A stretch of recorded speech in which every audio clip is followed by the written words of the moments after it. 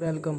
तो first of all सबसे पहले बात करते हैं पाकिस्तान पे के टी ट्वेंटी की न्यू रैंकिंग आई है, जिसमें पाकिस्तान दूसरी पोजीशन पे आ गया। पहली पोजीशन पे इंडिया है और दूसरी पोजीशन पे पाकिस्तान है। सो ये बहुत बेहतरीन बात है।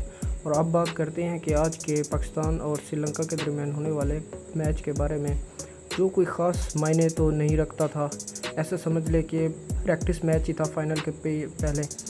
जिसमें श्रीलंका ने टॉस जीतकर पहले बॉलिंग करने का फैसला किया। और ये फैसला उनके लिए बेहतरीन ही था, क्योंकि उन्होंने शुरू में ही पाकिस्तान की बैटिंग को हिला के रख दिया। शुरू में ही मोहम्मद रिजवान, फ़खर जमान और बाबर बाबर आज़म को भी आउट कर दिया तीस रन पे। तो इस तरह उन्होंने पाकिस्तान की बैटिंग लाइन को पकड़ लिया। और हर ओवर में विकेट लेते लेते आखिरकार पाकिस्तान की दस विकटें निकाल दी उन्नीसवें ओवर में, और एक सौ इक्कीस स्कोर पे।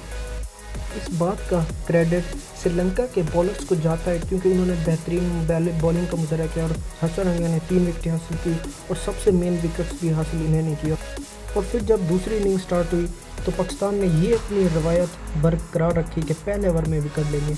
इस बार ना शहीन था ना नसीम था। इस बार था मोहम्मद हसनैन। मोहम्मद हसनैन ने भी पहले ओवर में विकेट लेके पाकिस्तान की उसी तरीक़ेकार को बरकरार रखा और फिर एक के बाद एक अगले ओवर में हारिस रऊफ़ ने विकेट ले ली।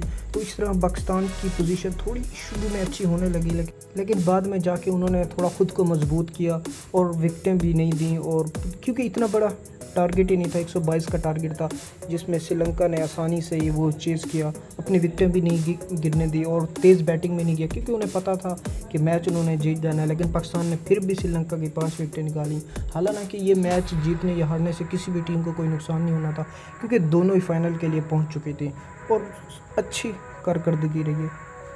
आज के मैच में बाबर ने तो सही है, तीस रन बहुत ख़राब नहीं है, लेकिन हसन अली ने भी चांस मिलने पर भी कुछ ऐसा खास नहीं दिखाया। वीडियो अच्छी लगी हो तो सब्सक्राइब और लाइक ज़रूर करना था आगे हम बहुत सी इन्फॉर्मेटिव वीडियो बनाने वाले हैं क्रिकेट के ऊपर। उससे आपको बहुत फ़ायदा होगा। Thank you